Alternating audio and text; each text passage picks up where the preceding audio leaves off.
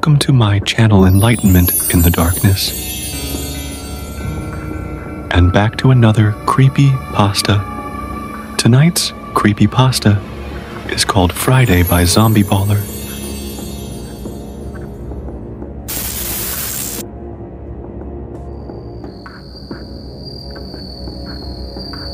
I have to write about this here because if I tell anyone in my life, they will not believe me.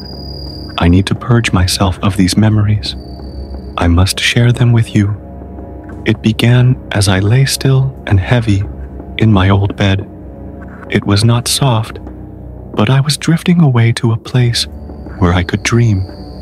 Then, the quite common, unsettling occurrence happens where, from my bed upon an ungodly hour, I could hear a loud, screeching, inhuman scream. A woman's scream, if it were to be replicated by a waterlogged and damaged robot voice box, a screeching as though a horde of crows were to imitate a human upon their death. I feel as though everyone has heard a sound like this late at night. Thoughts begin to move through your head. Thoughts like it was just a car, or a fox, or a bird. But you know the squeal was too loud and too unnatural for any of that. But you're only human. Perhaps the world is full of things you do not know about.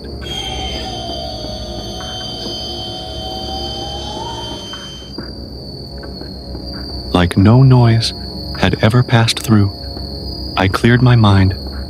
I know too many stories of banshees to disregard such an event. Never look outside.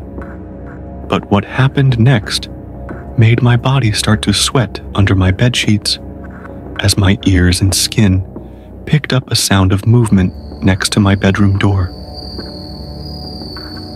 Behind me, I was facing the wall with my head buried into the mattress, playing pretend that I was not aware of what was happening. I was a statue as the old wood creaked in the dark corner next to the bedroom door. The door had not opened, but that did not mean nothing had entered. The world was full of science we do not understand. Something dragged against the dry wallpaper making me sure that the sound was not just the house settling. In my mind, I pictured someone standing there, in the shadow of the night, waiting for me to turn and see them.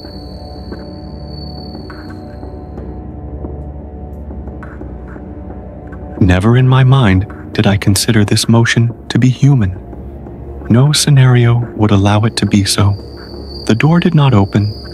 I was certain I didn't hear it so the attacker would have had to hide under my bed or somewhere else in the room.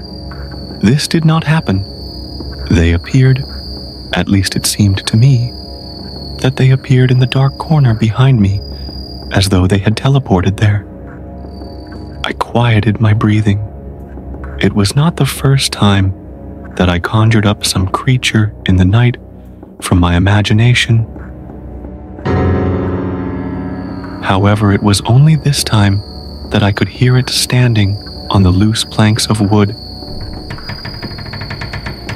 and shuffling quietly against my wall. Time was spent making believe that I was asleep. Ghosts do not attack sleeping people, they only scare the awake. Time was spent with the skin on my back awaiting the swift descent of a weapon upon me. Time was spent listening to the faint whispers of the night, and then, in time, the noises faded. My room was fully silent once again. I once again had the courage to deepen my breathing and shift the slight position of my fingers under my head.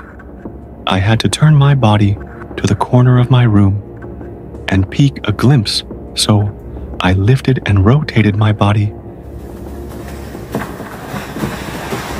as I thought a sleeping person would, without opening my eyes, and with a heavy and careless motion. I sat still now, waiting for more sounds of friction. None came. The intruder was gone. I could only assume. I was facing the intruder's location. So now I had to gather the strength and courage to open my eyes. But thankfully, once I had opened them and adjusted to the dark, nothing was there, regardless of how fast my heart was beating. My eyes were not deceiving me and creating something from nothing in the darkness. I slipped my phone out from under my pillow and turned on the torch so that I could light the shadowy corner from where the movement came. Nothing was there, although now I began to think that I had created the noises in my head. I still stood up to turn the light on and check, and waved my arms around in the air around me to assure my mind I was thinking that finally I could go back to bed. So I turned the light off again, but this time I turned on a little nightlight I had so that my mind won't decide to play tricks on me anymore. If only it had worked. When I turned to my bed, I saw hands reaching in from the open window, which was above my pillow. I was on the third floor. It had long, grayish fingers, which were not recognizably human, more like a malnourished and hairless monkey. I was frozen to the spot. What could I do? What would you have done? I felt as though my entire world were ending, and all that I thought fabricated was now reality. All of the nightmares that only appeared in my mind were now coming for me. Somehow they opened the window and reached in without me hearing anything. While I was checking for monsters in the corner, one was reaching down to my pillow without my knowledge. What if I had remained in my bed? However, I found out that not being in my bed did not save me from the nightmare. The gray arm began to extend as though it were robotic and not natural. My eyes darted quickly to the window. The nightlight in my room made it so I could not see the dark night outside all but two glistening eyes, which were reflecting the light from my room. It was close to the window, watching.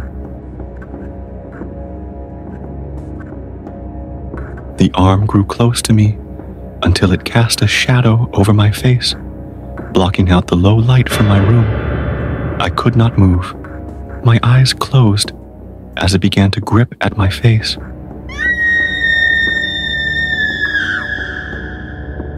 Before I felt it touch me, I must have passed out.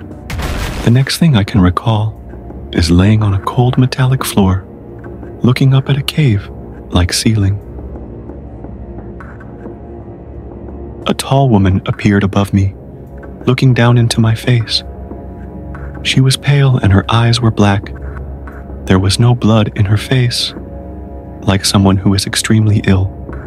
I noticed that her mouth did not move even slightly. Nothing on her face moved, except her black eyes, dark like a dog's eyes. When I woke in my room, I was on the floor, beside my bed, not where I was standing when the arm reached out to me. I think of her face often. It appears in my mind from time to time and I have an inclination to assume that when I think of her, she is thinking of me. This is just a fantasy of mine, of course. I may have just been a subject of alien abduction and discarded like livestock. I can no longer sleep at night when I am alone. I lay awake, waiting for it to return. I have felt different ever since. When I woke in my room, I was on the floor, beside my bed, not where I was standing when the arm reached out to me. For a short time, I could not think in words. like my mind had been altered, as it is when you first awake from a dream. I have visions of the Earth from space, and I believe that a small part of me is still up there. I do not know what happened to me or what she was doing with me. This is all I can remember from Friday night. I know it was real. I know it had happened. Nobody will believe me if I were to tell them. All I know is to no longer disregard the bumps and scratches in the night. I would like to thank you for joining me here today on my channel, Enlightenment in the Darkness. Please feel free to share any thoughts about tonight's creepy pasta. Please like and subscribe to my content so I may continue to bring these creepy stories. Thank you and many blessings to the rest of your day.